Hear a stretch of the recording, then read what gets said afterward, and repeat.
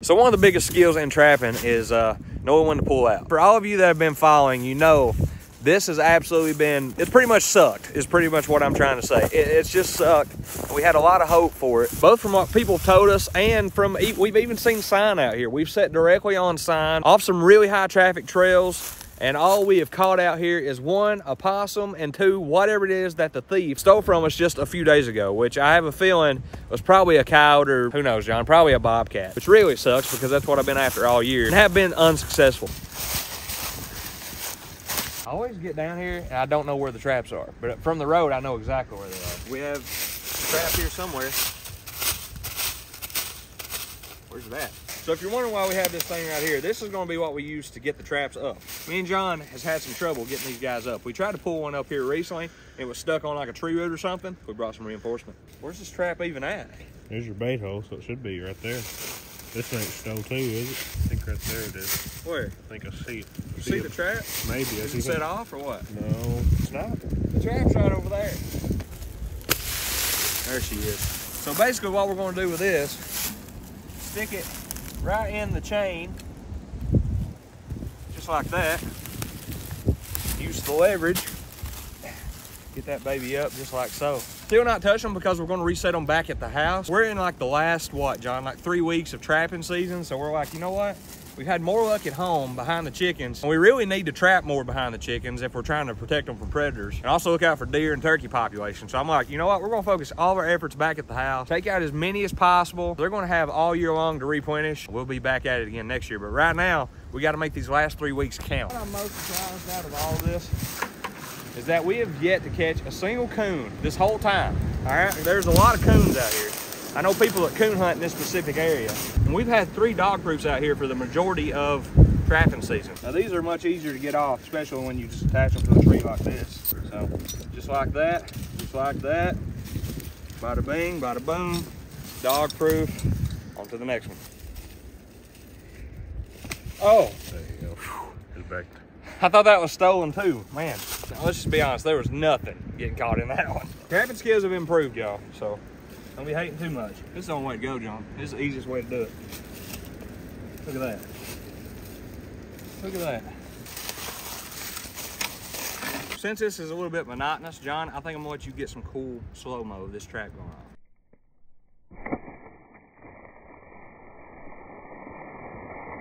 John's covered in dirt. Hope that footage was worth it. John is gonna have to take a shower. Well, would you look at that right there? Think this would be a good crappie structure or what? Like put a few of these together maybe? You know what I'm saying?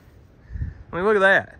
I mean, that's better than a Christmas tree, right? I don't know. I'm thinking about maybe coming out here and picking up a few of these. There's like one, two, three, four, five, six, seven, there's like 10 or 12 bushes out here. You put a couple of these bad boys together and you're set. So I guess public hunting land is basically just uh, some people's trash can or a place if you decide to uproot your entire front lawn, I mean, you know, you can do that. All right, we have, what is this, John?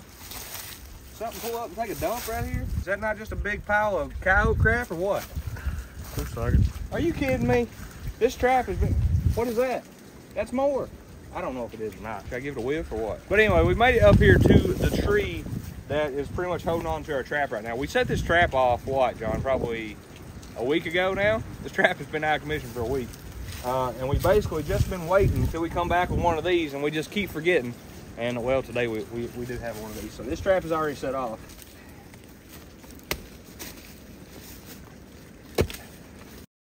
All right, we're rolling up on the thief trap right now. We've had no action out here either from animals or thieves. I come out here every day just to kind of look and see what is going on with the trap. You guys want another quick run through, basically we had a trap right here and we caught something in it. Actually right there is still our dirt hole.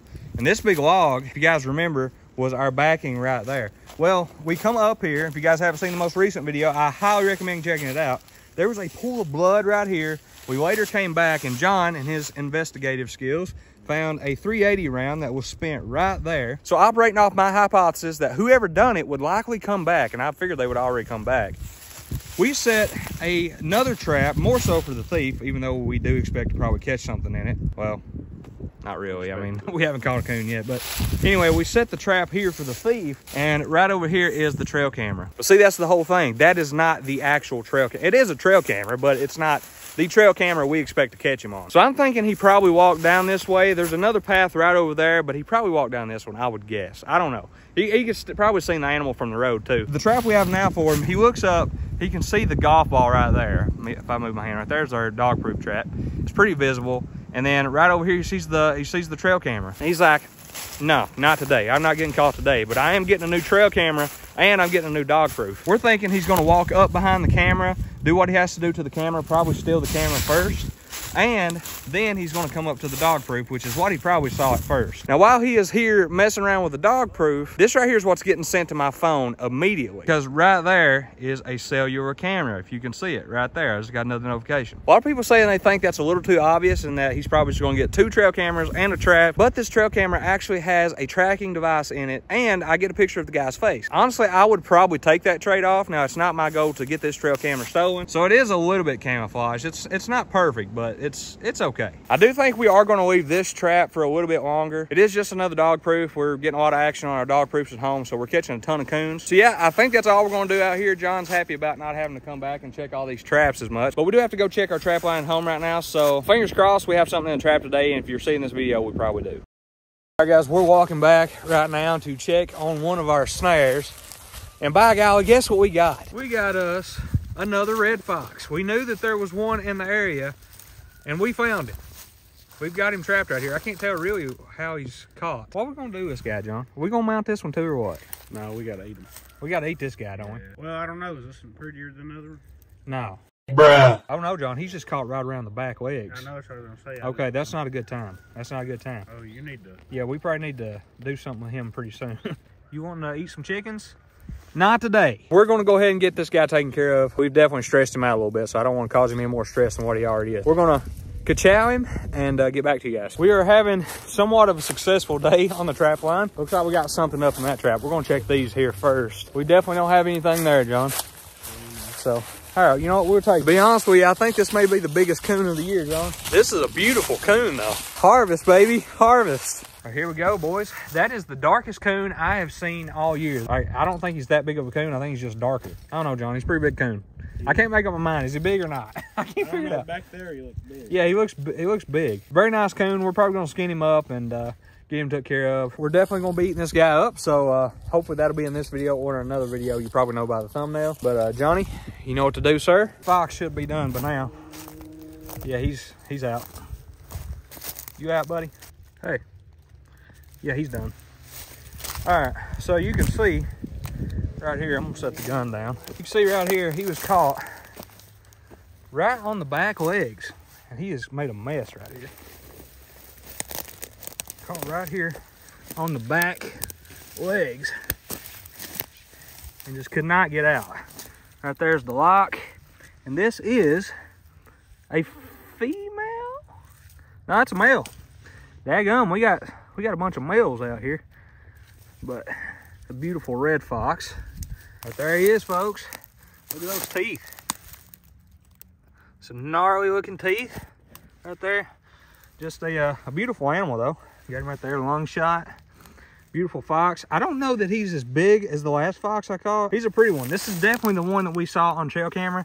He's got those blacker legs for sure. All right, there he is. There's the chickens. That's what we're trying to protect. You guys are lucky. Let's see if we even have a reason to protect you. We've been getting about three eggs a day.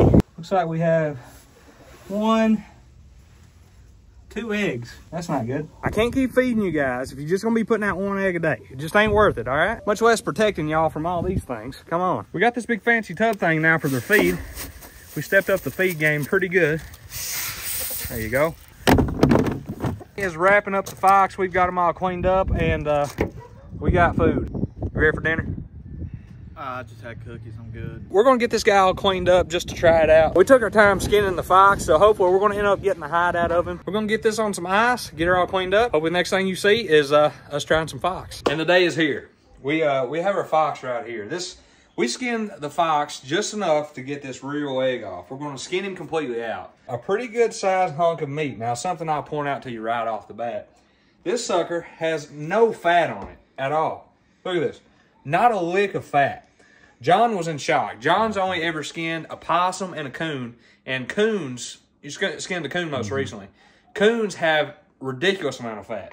he was shocked to see this, and I was honestly kind of shocked too. I've never skinned an animal like this. But pretty much the setup on today's little cooking adventure, we have fox leg here. We have a slow cooker. We have an arrangement of spices uh, for the fox leg. We usually go limited spice on stuff like this when we're trying it for the first time, but I have a strong suspicion that this is probably going to be not good. All right, well, onion powder going in.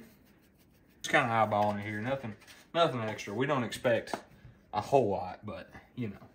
Garlic powder, red pepper flakes. Got to watch out on these. You don't want many of those. Some salt. Now it's been soaking in some salt water already. We'll probably add some more of this toward the end of it too. Do a little taste testing maybe.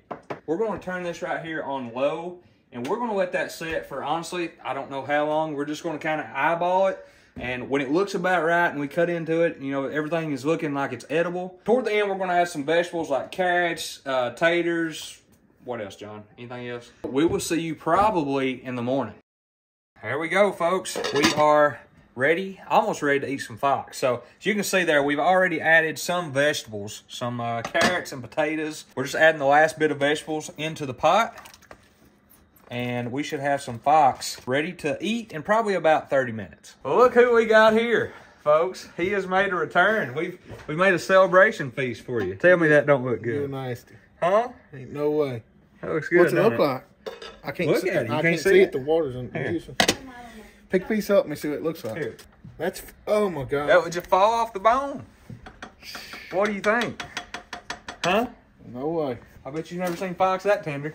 Have you? No. Huh? No. You gonna try some? Nope. Oh, I can't believe you're gonna eat that. Why? Yeah, she's got a few more minutes. I don't know if Preacher's gonna join us No, or not. I can't. I can't take on that one. I fully expect it to just taste like regular meat. It's slow cooked in there for probably 12 hours. What do you think? I'm about to throw up. Just think about it. Yeah, I think it's gonna be fine. Right there she is. That is the fox that we prepared. Now, we probably could add some more seasoning to it. I say we just try it just as is. Went a little heavy on the garlic. You can smell the garlic pretty strong. So we're gonna we're gonna try it. Looks and it acts like it's very tender. So all right, here we go. We have the fox, we have the taters and carrots. Now I'll be honest with you, the taters and carrots probably not all the way done. So we may hold off on those right off, but right here is the fox. And I gotta tell you, first off, just looking at it, looks like regular meat. Got a good little hunk there. We're going right in. Initial impression, tastes just like anything else. Good? Pretty good, John. Good.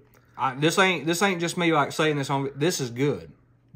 Like I would eat this. We're, we're gonna eat the rest of this. What comes to mind right off is elk. So it's got a little bit of wild taste, but it's really not much at all. I mean, we put what season we put in garlic, Onion. uh, onion powder. Red pepper flakes. Can't taste a whole lot of that. There's definitely a little bit of it. Maybe it helped a little bit, but on a scale of one to ten, I would probably give this about eight and a half. Honestly, like I'll, I'll take a.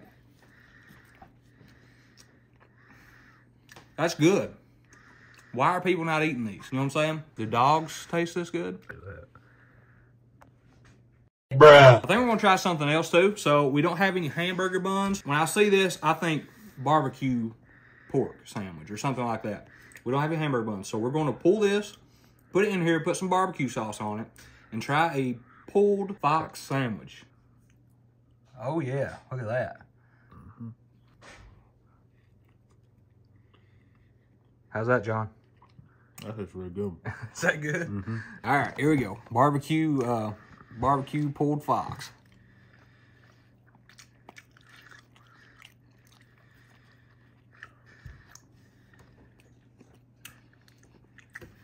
Good, ain't it? Why do people not eat these? I ain't gonna lie. I got something stringy in that one. Did you? Probably. I got something stringy in that one. All right, John's recording for YouTube. This is TikTok, but I've convinced my wife to try Fox. And the only reason I'm getting her to eat it is because my mom tried it first and she vouched for it. So I, one thing I can promise you is she's going to give you a honest review. I'm paying her 25 bucks to do it. So. Is that big enough? That's good. Yeah, that's good. Go for it. Fox going in. Te- to be honest to the people. Tell the people the truth. Tastes like roast. Tastes like a normal roast. Yeah. Other than the You fact could- I know it's a fox. Yeah, well, if I if I told you that was beef, would you have just ate it and not said anything about it? Yeah. I hope you guys enjoyed today's video. Fox, we highly, highly recommend it. It's definitely one of the best things we have tried thus far out of our traps. So we definitely recommend it. I hope you guys enjoyed today's video. If you guys want to see a possum catch and cook, click right there. If you want to see me trap a red fox, make sure to click right there. We will catch you guys on the next one.